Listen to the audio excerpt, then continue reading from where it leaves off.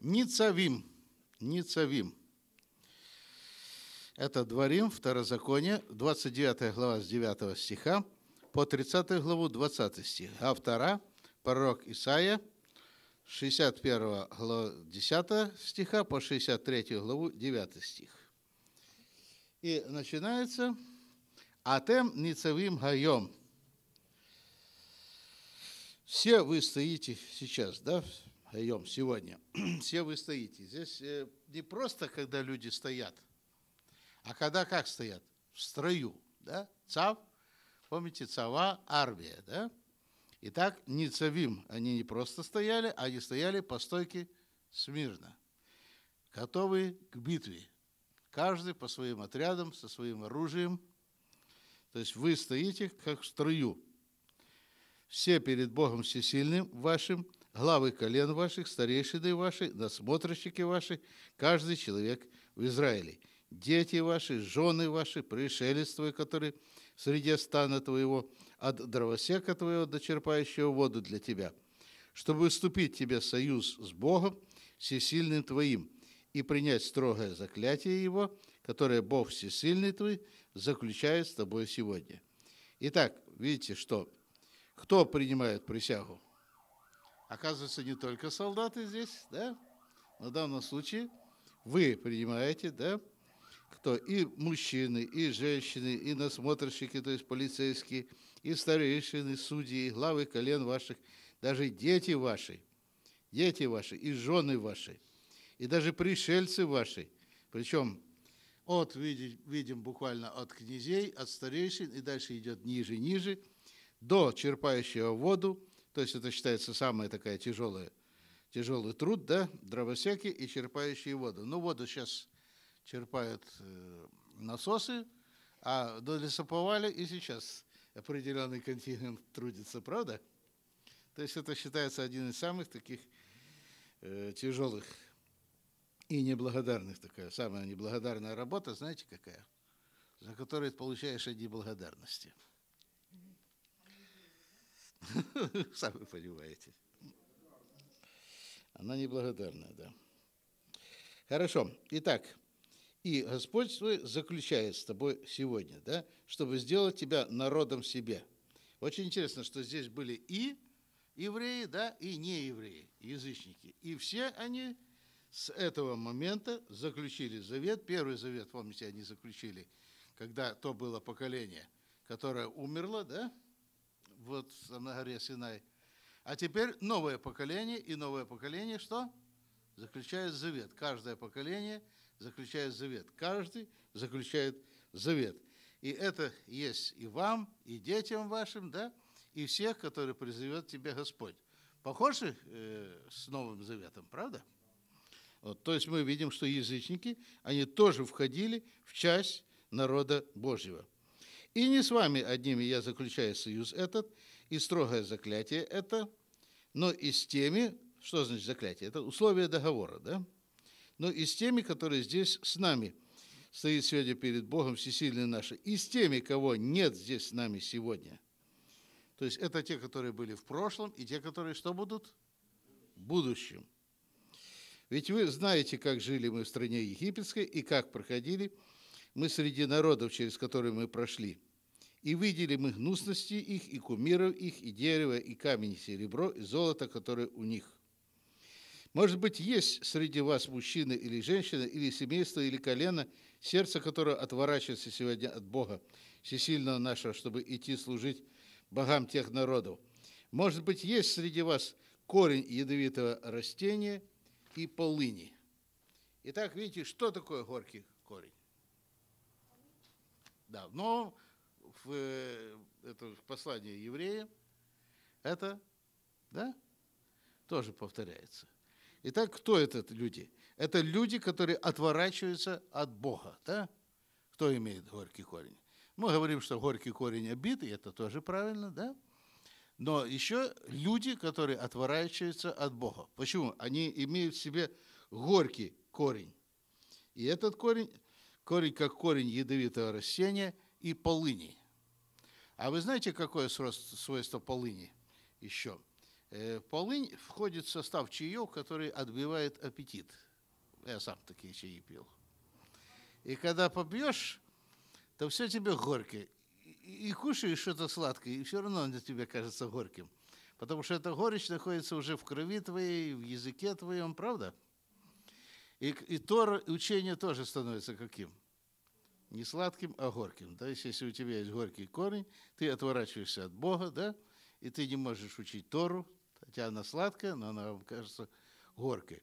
И э, если мы говорим о послании к евреям, это тоже говорится не ко всем евреям, да, а к определенной группе евреев, которые либо в результате своей незрелости, вы помните, я говорил, вам нужна только такая молочная пища, да, они совершенные, вот, либо в силу каких-то определенных обстоятельств они отошли от Иешуа Мессии, и таким образом это похоже было на тех людей, которые описываются здесь, правда?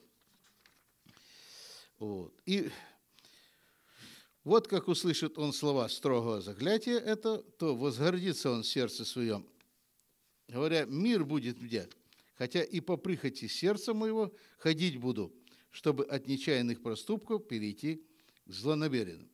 Итак, если сердце человека от Господа отделено этим горьким корнем, но он считает себя членом Божьей семьи, да? И он, как говорится, ходит в церковь и так далее. Сейчас э, отвечу на ваш вопрос. То что получается? Он может возгордиться тоже. Все благословения, которые идут на Божий народ, они на мне. Ну и мы тоже знаем, что есть такая определенная категория и э, группа, э, даже э, теологически такая, выдержанная, которые говорят, что вот Иисус все мои грехи простил, прошлые, настоящие и будущие, прямо индульгенция, против чего как раз и выступал Мартин Лютер, и он в этом случае правильно выступал. Вот, но мы как будто получаем индульгенцию на все свои будущие грехи. Да? И ничто не может отлучить. Ну, я награду не получу, конечно, но все равно ничто не может отлучить. Здесь же говорится, да? Возгордится он сердце своем, говоря, мир будет мне, хотя и по прихоти сердца моего ходить буду. И вы, если замечаете параллель с книгом евреям, да, то тоже говорится об определенной категории людей, которые считают себя что? Что все у них нормально, да?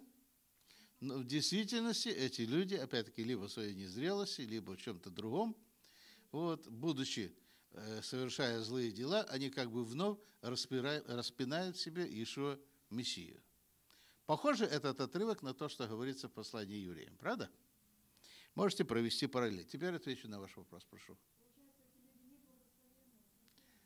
Они думают, что они получают благословение вместе со всеми, потому что они словами произносят да, слова э, завета, да, но в действительности они что? Попадают под проклятие. Под проклятие.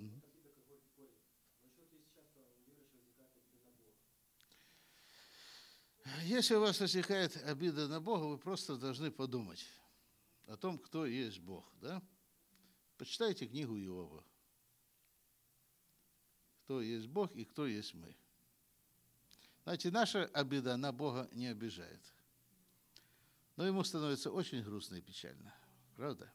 А вот для нас это очень важно. Если мы отходим от Бога, для нас это может быть очень существенно в нашей жизни – не захочет Бог простить ему, ибо возгорится тогда гнев Бога и ярость на этого человека, и пойдет на него все проклятие, написанное в книге этой.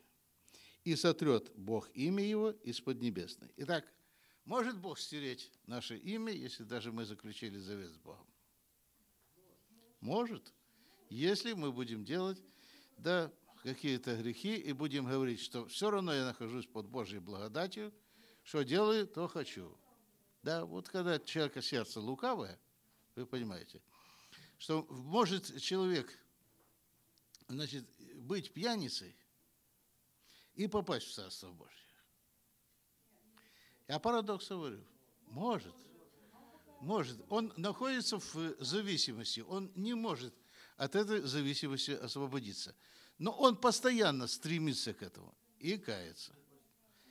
Вот. если он просит Бога о покаянии, Бог прощает грехи. Но какая-то сила у него сильнее Бога, но он не может это разрешить. Бывают такие ситуации? Бывает. И Бог смотрит. Бог смотрит не на результат наших действий, а на наше сердце, которое приводит к определенному результату действий. И может человек не пить, не курить, не блудодействовать, вот, преподавать Тору и пойти в ад. Может? Запросто.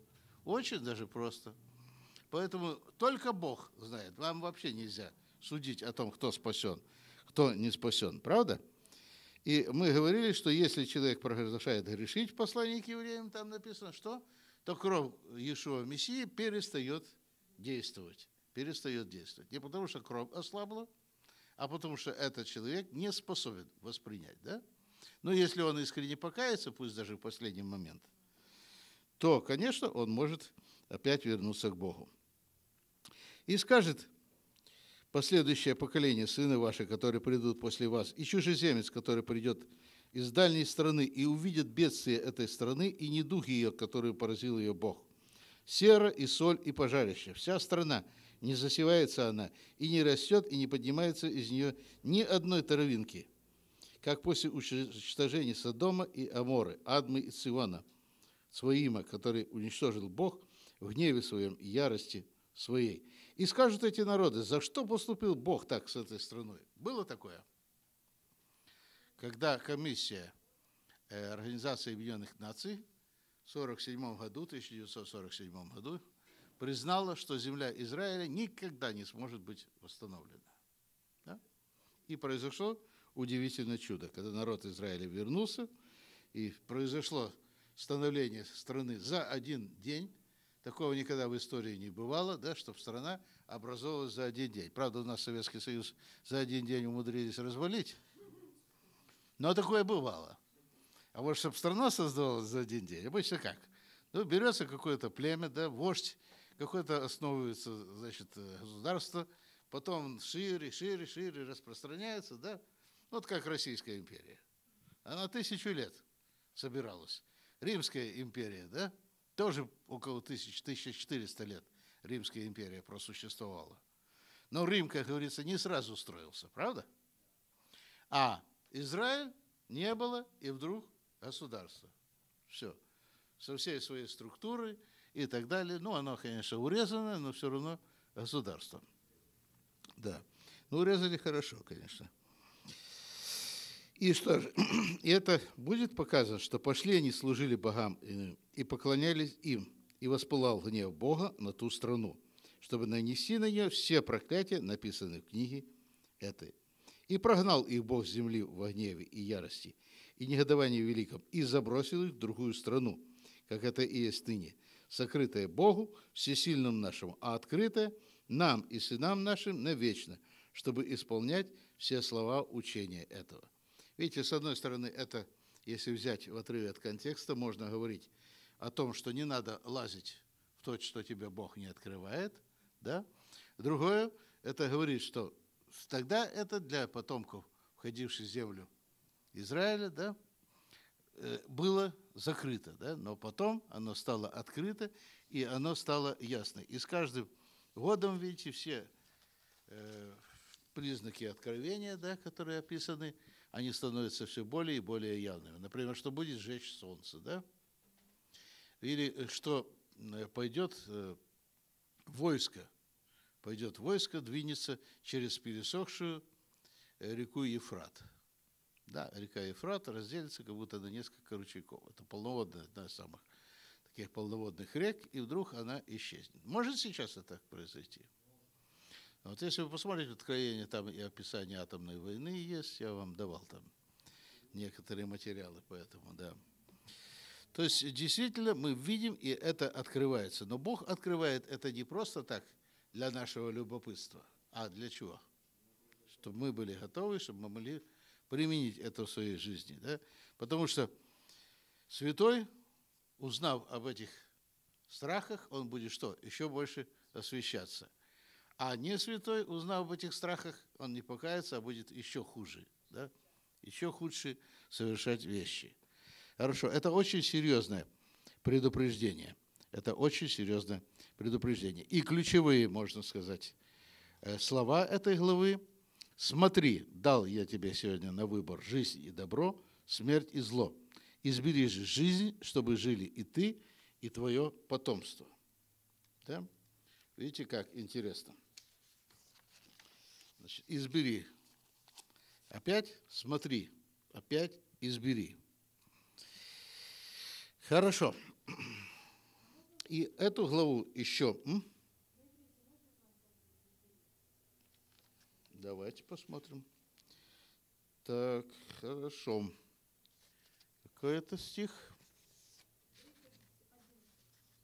Так, глава 30. Стих 11, да? Так, так, сейчас, сейчас, сейчас.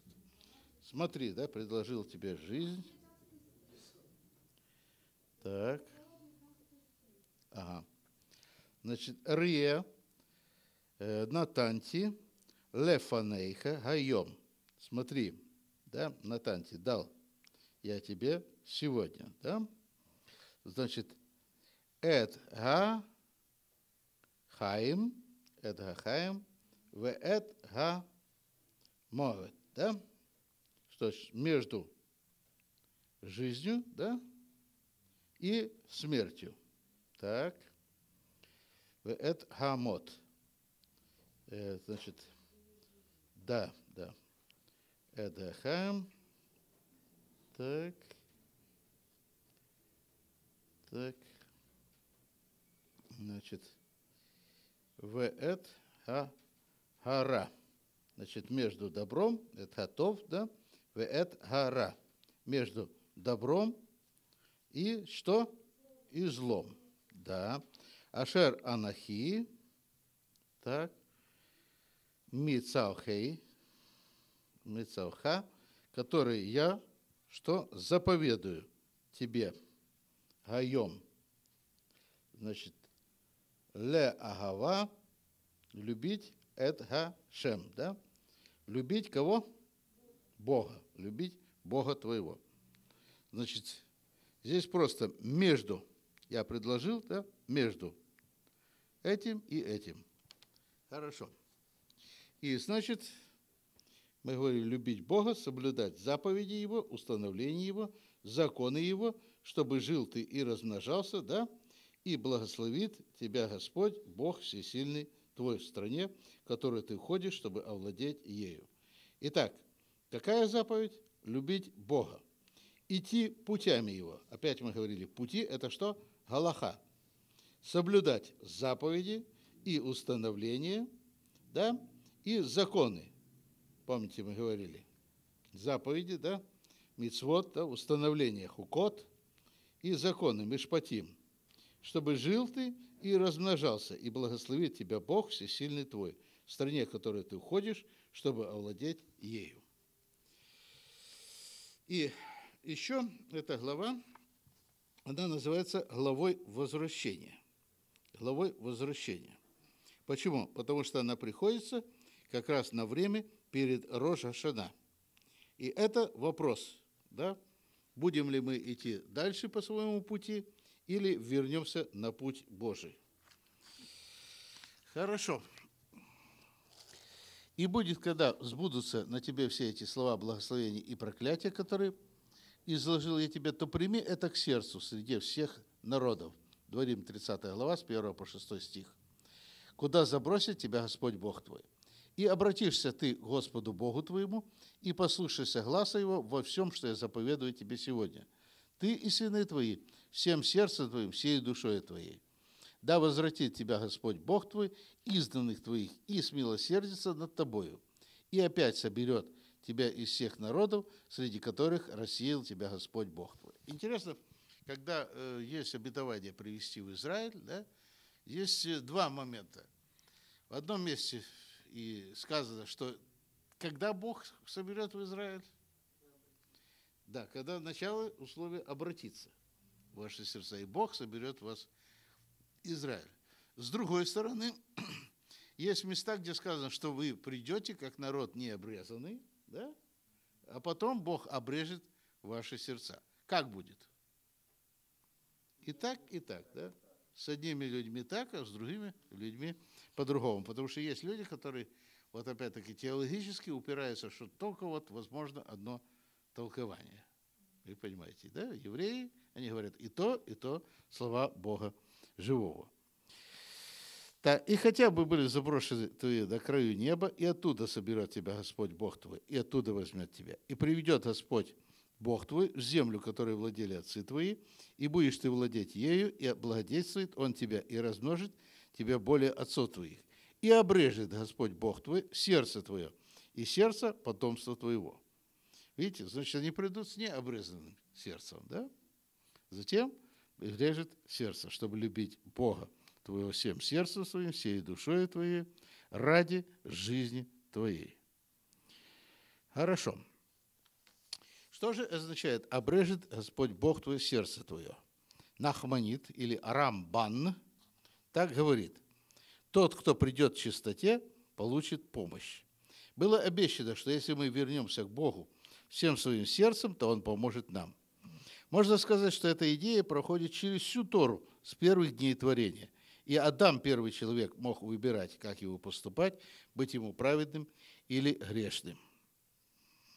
Вся человеческая алчность находится в крайней плоти сердца. Обрезание сердца означает, что человек больше не будет алчным, жадным, что он вернется к моменту до греха первого человека, когда праведность была естественной и не возникало стремления к противоположному. То есть, что будет восстановлен? Какой Адам? Новый Адам, да? Будет как не согрешивший Адам. Первый Адам был плотской, да? И будет Адам что? Духовный, да? Потому что он будет ходить по духу. А все, что относится к этой орла, да, это не значит, что мы плоть свою должны умершлять, вы понимаете? Под словом плоть имеется два разных вещи. С одной стороны, это физическое тело, но в данном случае говорится об обрезании чего? Сердца, то есть внутреннего человека, да? И плоской человек после этого становится духовным, после этого обрезания. И теперь, значит, еще интересно сказано, что ни один врач не стал бы экспериментировать на здоровом сердце. Нам же говорится, что так устроено наше сердце, которое состоит из болезненных, разрушающих элементов – так и из добрых, прекрасных, жизнеобразующих. И это делает необходимую Тору для того, чтобы мы могли участвовать в битве добра и зла, которая происходит внутри нас, на стороне добра. Эта битва может продолжаться внутри нас до тех пор, пока не наступит чудесное время, когда закончится знания, и мы, согласно Рамбану, сможем отдохнуть и быть естественно праведными, добрыми. Раби Симха Буним сказал однажды, величайшая трагедия заключается не в том, что люди грешат. Искушение велико, а человек слаб. Трагедия в том, что любой момент человек может повернуться Богу, но не делает этого. Можете отметить, очень хорошее место, да? Величайшая трагедия заключается не в том, что люди грешат –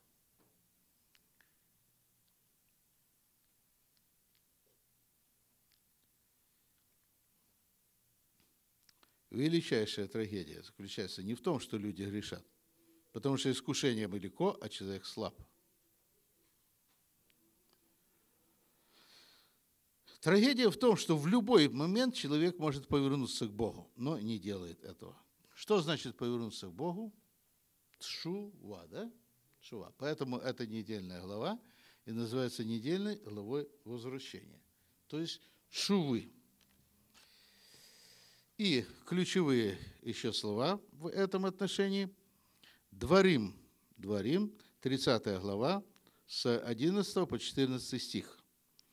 «Ибо заповедь эта, которую я заповедую себе сегодня, не загадочна она для тебя, и недалека она, и на небес, не на небесах она, чтобы сказать, кто поднялся бы к нам на небеса и принес бы ее нам, и возвестил бы ее нам, чтобы мы исполняли ее. И не за морем она, чтобы сказать, кто бы отправился для нас за море и принес бы ее нам, и возвестил бы ее нам, чтобы мы исполняли ее. Но очень близко к тебе слово это, в устах твоих оно и в сердце твоем, чтобы исполнять его. Здесь говорится о заповеди как о Торе в целом.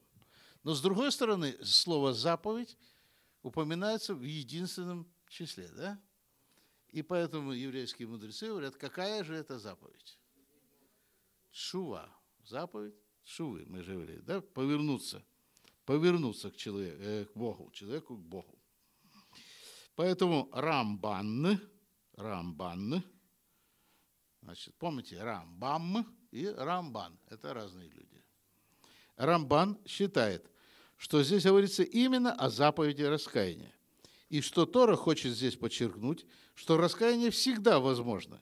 И человек не может ссылаться на обстоятельства, технические препятствия, неудачное время или место и оправдывать себя о том, что он не исправился и не сделал чуву. Помните, величайшая трагедия не в том, что люди грешат, да?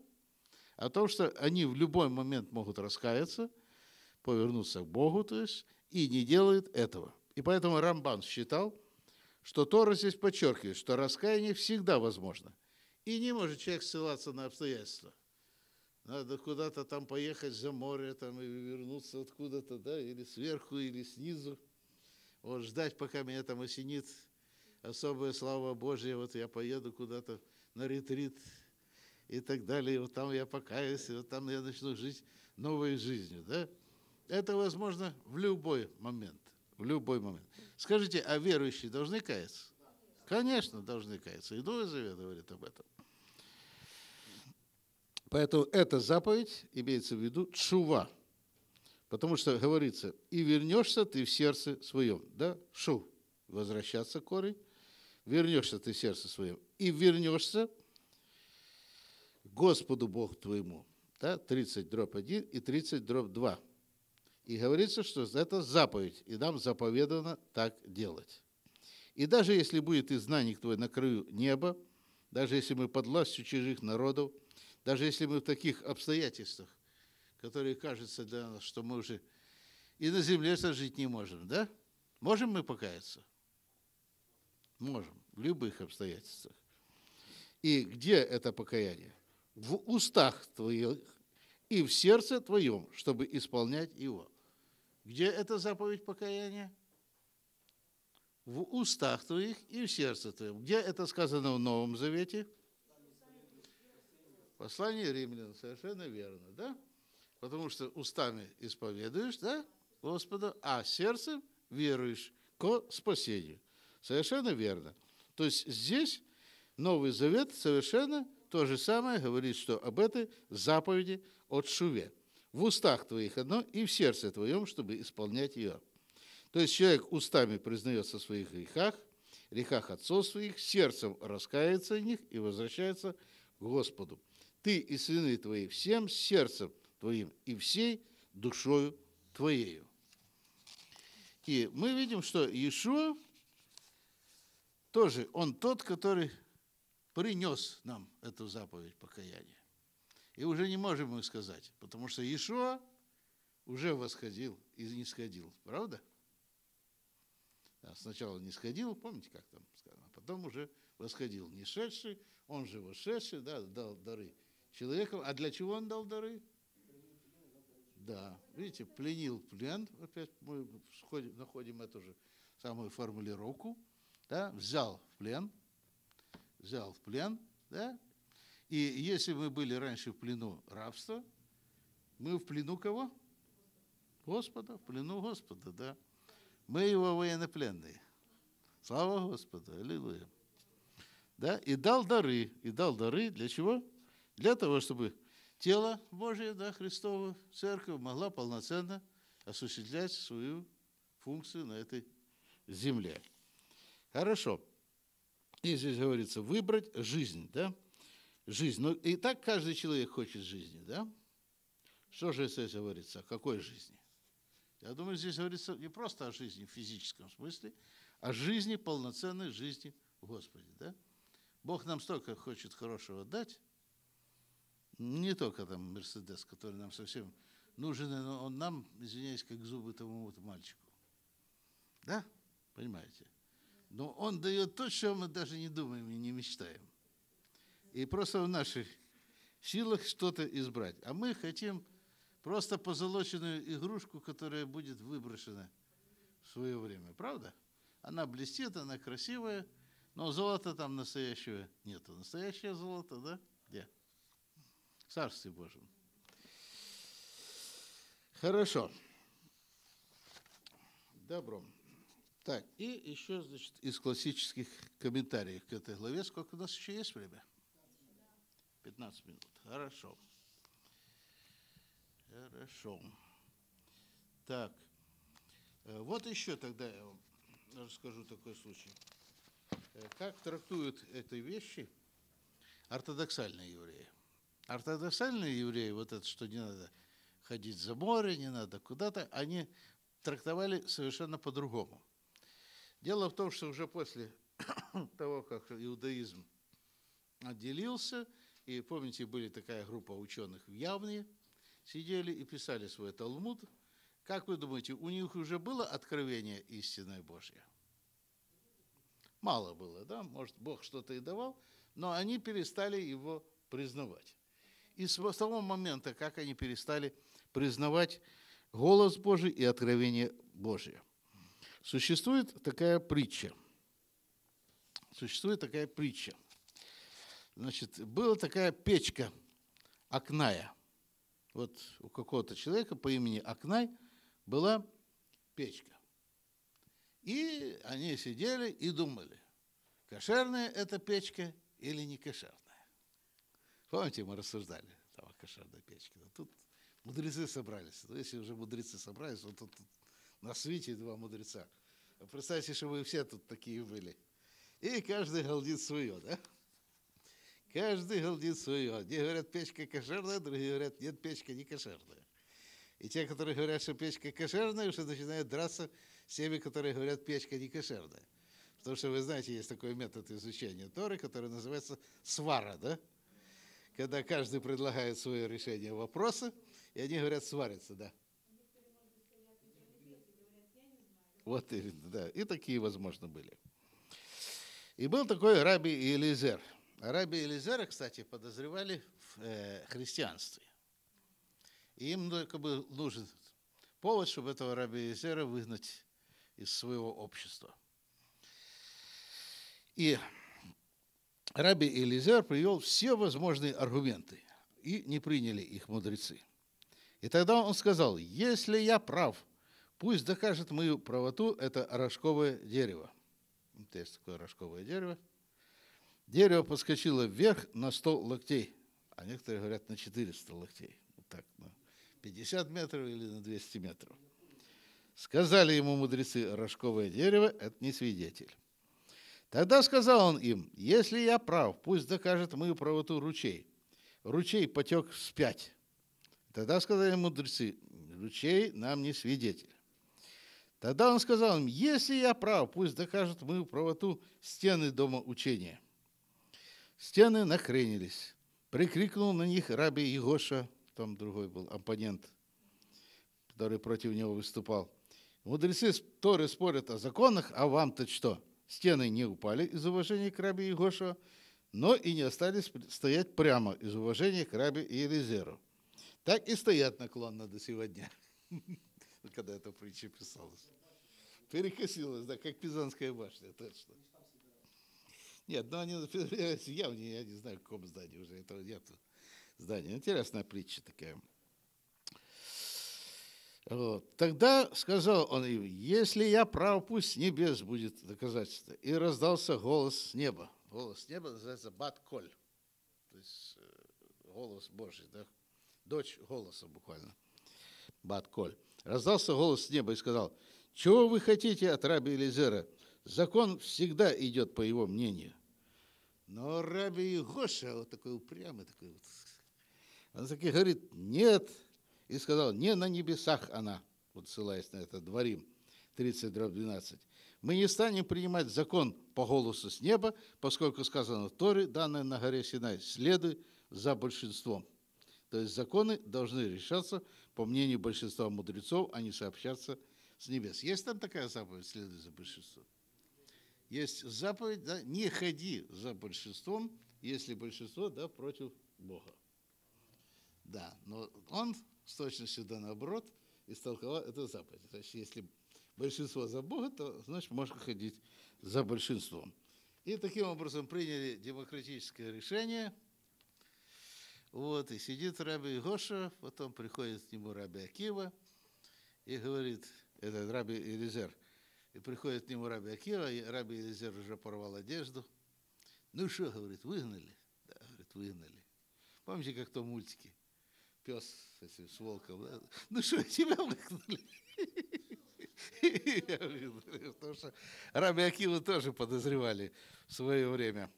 Потому что Раби Акива однажды трактовал пророка Даниила, и там написано было, что будут поставлены два трона на небесах.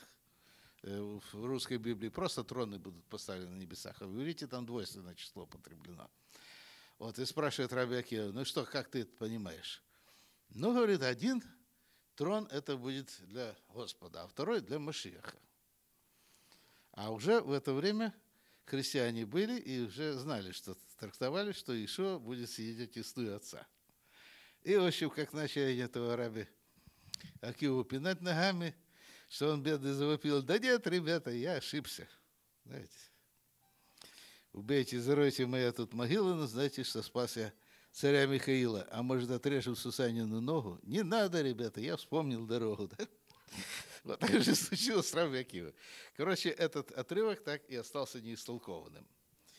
Вот так и получилось тоже с Раби Элизером. Бедный Раби Элизер, он даже сына лишился. Потому что у него были друзья-христиане, и когда заболел э, сын Раби Элизера, его укусила змея, по-моему, или что-то с ним такое случилось – и он хотел пойти к своему другу христианину, что тот помолился, и они знали точно уже, что если христианин помолится, да, то что? То исцелится. Но Раби Акива сказал, лучше, говорит, не ходи. И он так и не пошел, и сын его умер. Это, это были довольно серьезные между ними разногласия в то время. И с этого времени еврейские раввины фактически отошли от Божьего пророчества. Да? Даже если какое-то пророчество и какое-то откровение кому-либо из них было, они вот с этим истолкованием своим полностью отошли. Ну и начали мудрствовать уже по-человечески.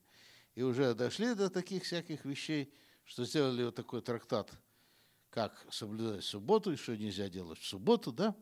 И раз в пять трактат больше, как обойти те законы, которые они сами же запретили делать в субботу. Вот такой вот. Ну, буквально до всякой мелочи.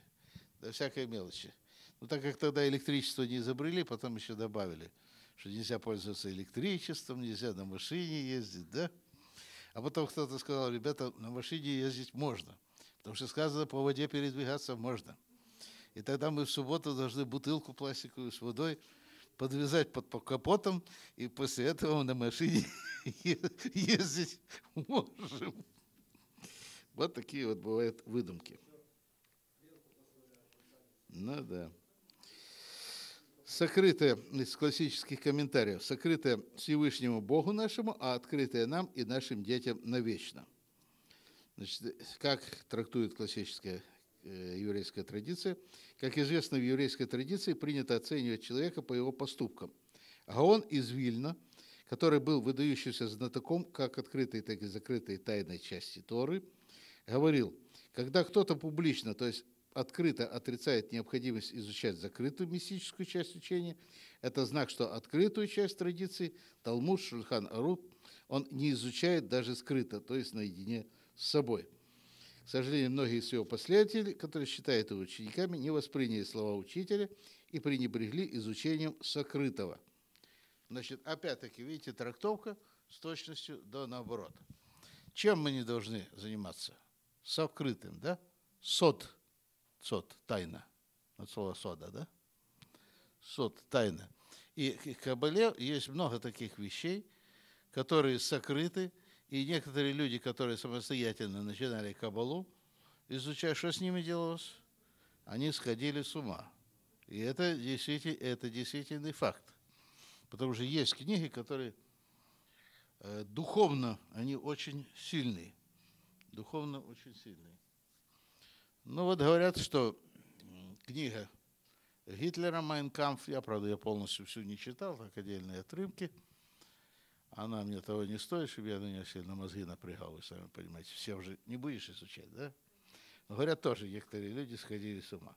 Самое парадоксальное, самое парадоксальное, что э, эту книгу, э, когда написал э, Гитлер, он сидел в тюрьме, он попросил одну женщину, которая работала э, секретарем в какой-то еврейской фирме, принести ему бумагу. Она принесла э, бумагу ну, с водяными знаками этих фирмы, какой-то там Груфинкель или какой-то, в общем. И на этой бумаге было написано «Майнкаум». Да, парадокс. Еврей Гитлер написал на еврейской бумаге антисемитскую книгу. Но я вам скажу, что некоторые книги обладают таки действительно духовной, очень большой силой. Да? Поэтому сокрытое лучше не надо лазить. Хорошо. И обратиться к Всевышнему Богу твоему, послушаешь Его голоса, и возвратит Всевышний Бог твой, твоих изгнанников, и смилостится над тобой. Это 30 глава из 2 и 3 стиха. Все пророки призывали к раскаянию, и не иначе через всеобщее раскаяние придет нам избавление. И уже в Торе обещано нам, что в конце времен весь Израиль вернется к Торе, и обратишься к Всевышнему. И когда наступит избавление, и возвратит Всевышний твоих изгнанников. Так писал Рамбам в книге «Законы раскаяния». А рабы Менахен Мендел из Витебска был проникнут верой в скорый приход Мессии и специально поручил одному из своих учеников караулить ночью и немедленно разбудить его на тот случай, если прозвучит призывный звук шафара, развещающий о грядущем избавлении. Вот как верили, да? Кстати, Раби Леви Искак из Бердичева, когда женил своего сына, да, он э, написал так, что свадьба своего сына состоится такого-то числа, такого-то месяца в городе Иерусалиме.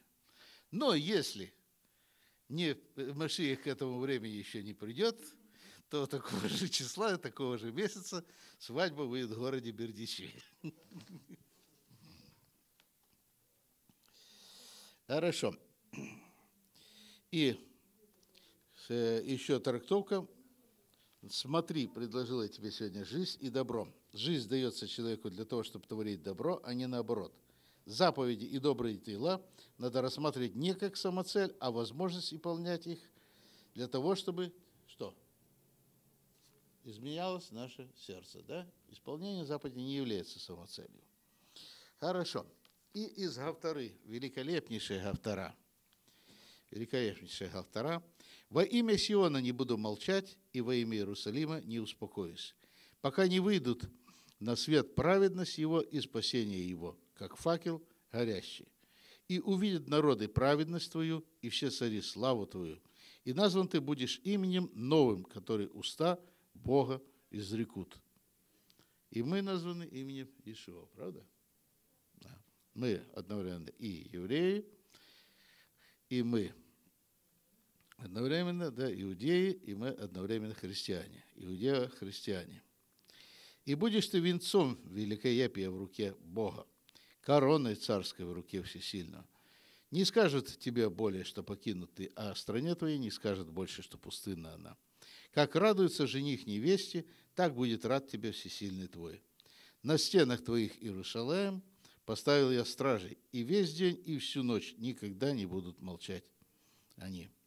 Напоминающие Богу, не молчите, и Ему не давайте молчать, пока не восстановит Он Иерусалим и не сделает Иерусалим славы во всей земле. Как там у вас? И Ему не давайте молчать? Или по-другому? Напоминающие Богу, не молчите – Ишая из 61 да. И ему не давайте молчать, пока не восстановит он Иерусалим. Да, глава 61. Посмотрите, какой там стих. Значит, пока не восстановит он Иерусалим и не сделает Иерусалим славой по всей земле. То есть интересно, мы не молчите, не умолкать, да, но и Богу не давайте молчать. Очень интересно, да, такая хуцпанутая мысль. Хорошо, по-моему, вот это там, Богу не давайте молчать, там пропущено у вас. Так, хорошо.